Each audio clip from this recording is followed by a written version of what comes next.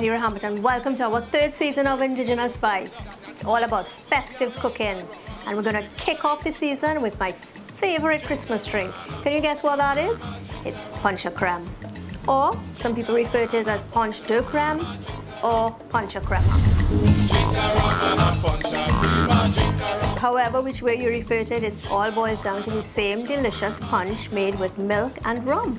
And of course, there's an international version of this called eggnog. That's probably where it originated. That is also a milk-based punch enjoyed warm and spiked with brandy or rum. Well, today I'm going to take you through our wonderful indigenous punch creme. Punch creme is really easy to make. All you need is some dark rum, some evaporated milk, condensed milk, some eggs, and of course some flavoring agents like nutmeg, lime zest and bitters.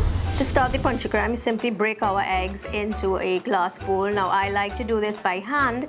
You can also do it in a food processor or a blender if you like. So you want to beat those eggs up, then you're going to add your milk, your evaporated milk and your condensed milk.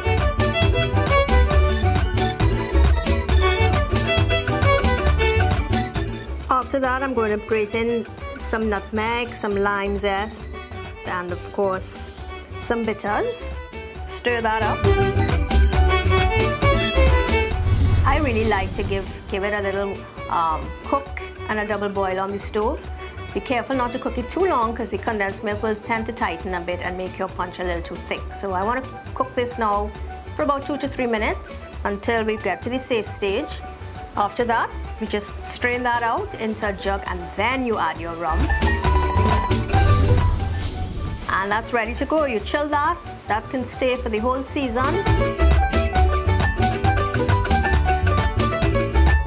When you're ready to enjoy, you simply pour it over some cracked ice and garnish with a little bit more nutmeg and bitters.